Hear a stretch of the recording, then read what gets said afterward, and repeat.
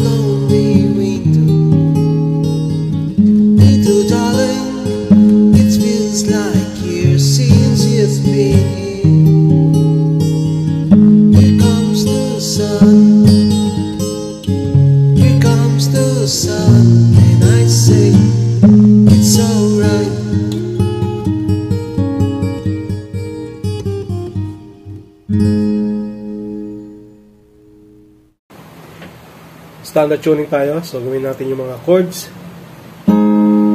D major, G, ganito yung G natin. Tapos lagay yung index dito sa second fret, first string, G major 7. Tapos E7. Yan. A7.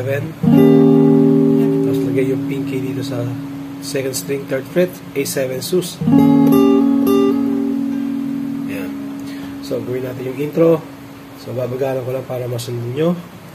And, uh, pag-aralan nyo rin yung mga tono na tinata- tinatapakan ng daliri, daliri nyo para uh, maging familiar kayo sa mga tunog. So, gawin natin yung intro.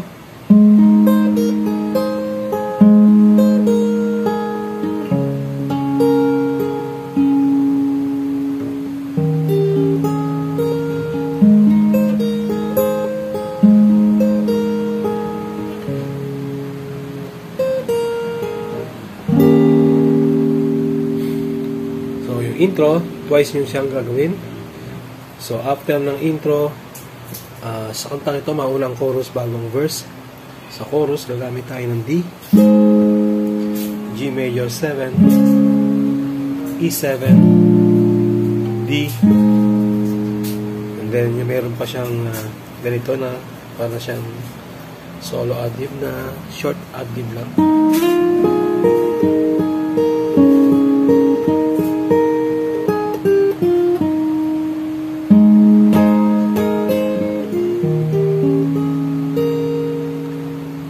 So, gawin natin yung chorus.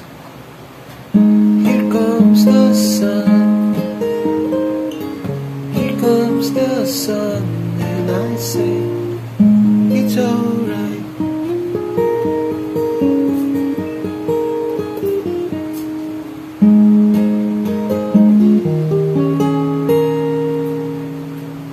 So, ulitin natin yung ginawa dito.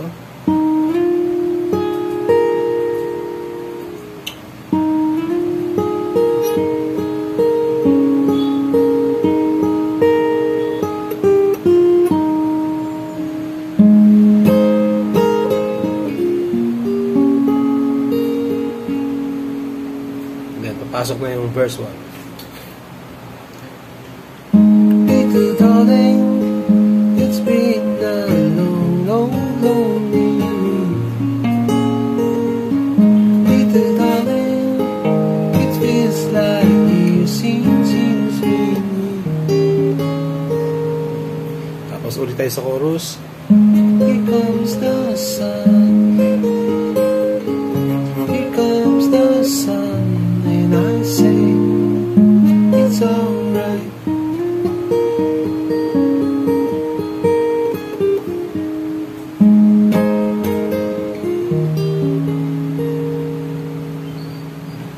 Then verse 2, same chords. Little darling, is my returning the surface.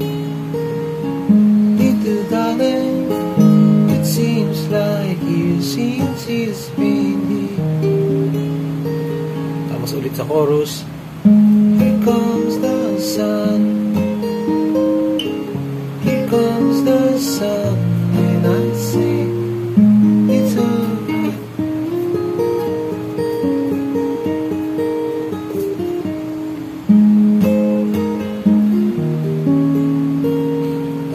verse 3 naman, same chords pa rin. Little darling, I feel that I slowly melt. Little darling, it seems like you sing it's been here. Tapos chorus ulit. Here comes the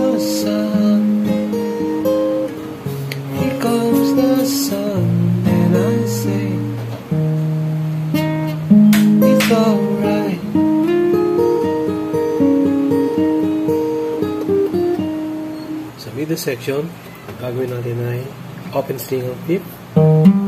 Then hammer niyo yung ring finger. Tapos lagay yung index dito sa fourth string.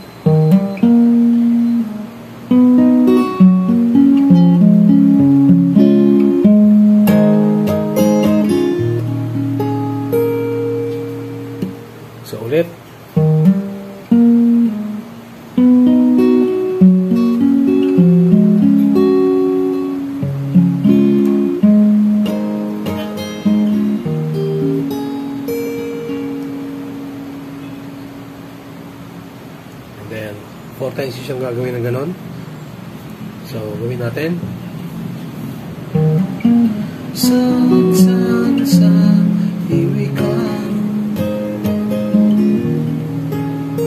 Sun, sun, here we come. Kunwari, natapos na natin yung pang-apat. Then sa panlima, gagamit na tayo ng A. A muna, index nyo, lagay nyo sa 4, 3, 2, and 1. Tapos lagay ang middle dito sa second string, third fret.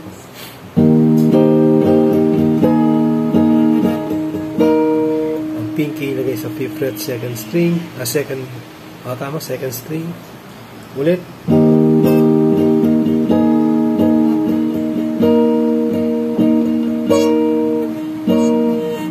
ibaba nyo itong middle dito sa first string. Third fret. Ulit.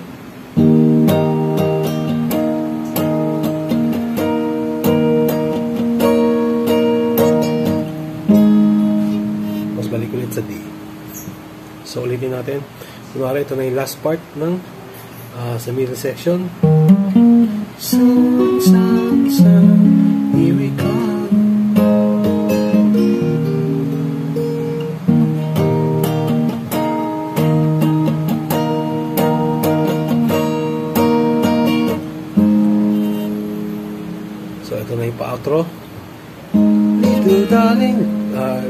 Ulitin nyo lang yung verse 3. little darling, I feel that I see slowly wind. Little darling, it seems like you sing it's been Tapos balik tayo sa chorus.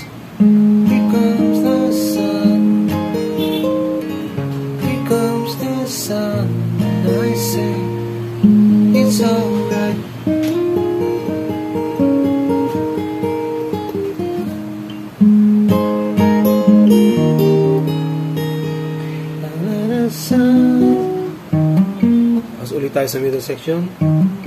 sun, sun, sun. Here we come. Sun, sun, sun. Here we come. Sun, sun.